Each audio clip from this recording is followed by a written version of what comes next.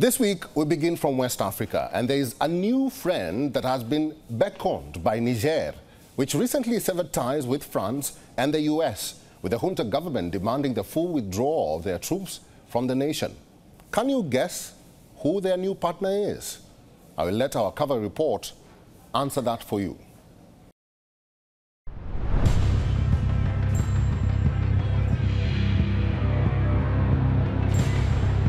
Protests and huge demos are the new normal in West Africa.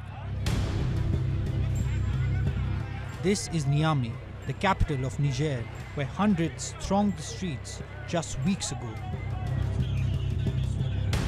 The last US troop deployment left, and months prior to the American departure, French troops also exited the country. We don't want Americans on our territory. And by the way, it is not just the American military base. We don't want them on our territory because we can't understand it. And now there is a new guest in Niger, Russia. This is the Ilyushin 76 transporter plane touching down at the country's international airport. Niger state television reported that 100 Russian military instructors reached the Sahel nation to train their forces in the use of new Russian military hardware. We are here to train Niger's army using the military equipment that has arrived. It's equipment for different military specialities for promoting military specialities. We are here to develop military cooperation between Russia and Niger.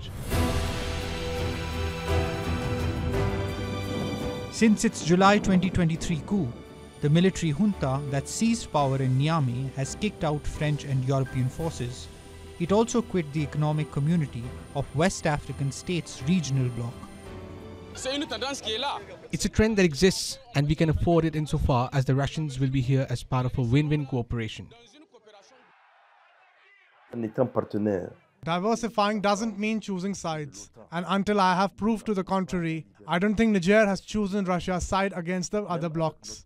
We sided with Russia because it offers us the opportunity to equip ourselves militarily, to equip our space, to ensure its security.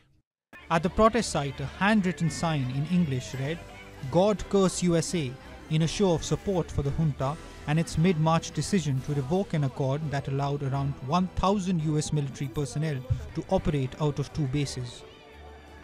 Speculation of Russian President Vladimir Putin touring the Sahel or West Africa has grown recently. The Kremlin hasn't issued any statement or clarification.